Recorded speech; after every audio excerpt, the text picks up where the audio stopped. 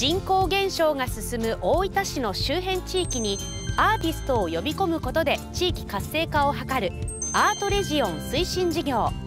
その一環として2018年から始まったのがこちらの旧王子行小学校の一部をアトリエとして貸し出す取り組みです。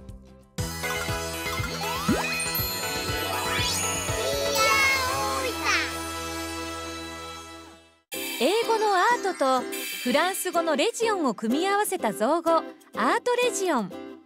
アートレジオン推進事業は2017年から始まり恒例となった子どもアート学校などのイベントを地域住民と連携して開催しながらにぎわいを生み出しています。ここ旧王子行小学校のアトリエはこれまで7組そして現在は5組のアーティストが利用しているそうです。わあ早速可愛い作品に囲まれています。こんにちは。こんにちは。お久しぶりです。こちらのアトリエを借りているのはソフトスカルプチュアー作家のかなさん。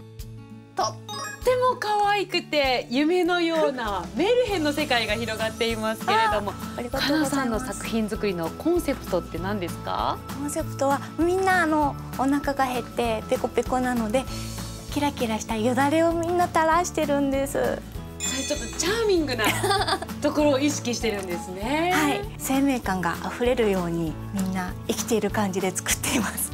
いろんな色を使うのが大好きで右から見たのと左から見たのと違った雰囲気で見えるようにいろんな布を合わせて作ってます。どうしてここに入ろうと思ったんですか？今まで使ってたアトリエが狭すぎて広いアトリエに引っ越したいって思ったら引っ越せた 実際に入ってみてどうですか？ああもう広々と使えてもう作品の幅が広がりました。他に入ってみて良かったことってありますか？他にもメンバーがいるのでわからない時に質問に行ったりができます。一人で作るよりも結構学びがありそうですね、うん、ありますあります。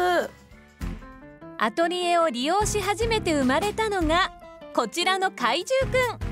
学校という広い場所だからこそ作れる大きな作品です大きなアトリエになって創作意欲もどんどん増していらっしゃるように見えるんですけれども、うん、これからの夢は何ですか？あこれからの夢はもっと大きな作品を作るのが夢でここじゃ飾れないぐらいの作品をこれからどんどん作っていきたいなっていうのが私の目標です。かなさんの夢を叶えるには、ぴったりの場所ですね。そうですね最高の場所ですねこの場所で新たな作品が生まれるとともに地元の人たちとの交流も深まりついに大重基地区へ移住したかなさん。地域に根付いたアーティストとしての今後は？私がここに入ることによってアートに触れる機会が増えると思うんですね。なんかちょっと生活がちょっと楽しくなるそういうエッセンス的なものになれればいいなと思ってます。例えば近所の方とか子供たちって作品見に来たりしてもいいんですか？あもちろん。かなちゃんって呼んでくれたら。トントンって。そうなんですね。じゃあいろんな方たちの交流の場所にもなりそうですよね。そうですね。佐賀関で生まれたにぎわいが今度は野津原地区にも。